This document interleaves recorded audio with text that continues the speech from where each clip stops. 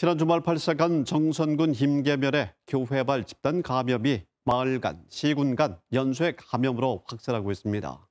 이 확산의 고리를 끊기 위한 신속한 진단 검사와 방역 수칙 강화가 시급한 상황입니다. 보도에 박상희 기자입니다. 집단 감염의 실마리를 제공한 인제군 확진자가 정선군 임계면의 행복한 성결교회를 방문한 건 이달 14일. 일주일 뒤 이날 함께 예배에 참석한 정선 주민 9명이 확진 판정을 받았습니다. 확진된 교인의 가족 1명이 속초에서 확진됐고 해당 가족을 속초에서 만난 지인들, 그 지인의 가족까지 연쇄 감염이 발생했습니다. 정선군 임계면에서 발생한 감염이 방문객 이동에 따라 인근 정선읍과 열양면에 이어 강릉과 속초, 동해 등으로 확산돼 확진자가 속출하고 있습니다. 그동안 확진자가 없었던 작은 농촌 마을이 갑자기 집단 연쇄 감염의 근원이 되자 주민들은 불안과 당혹감을 호소하고 있습니다.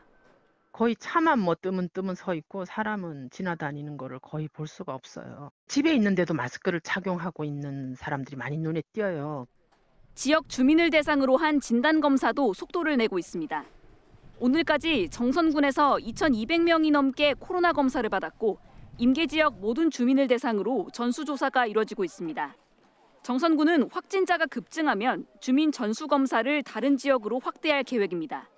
다른 지역에서 또 집단처럼 아니면 뭐 두세 명이 새로 생긴다면 그 지역의 상황을 봐서 이동 선별 진료소를 다시 개설할 수도 있다는 얘기죠.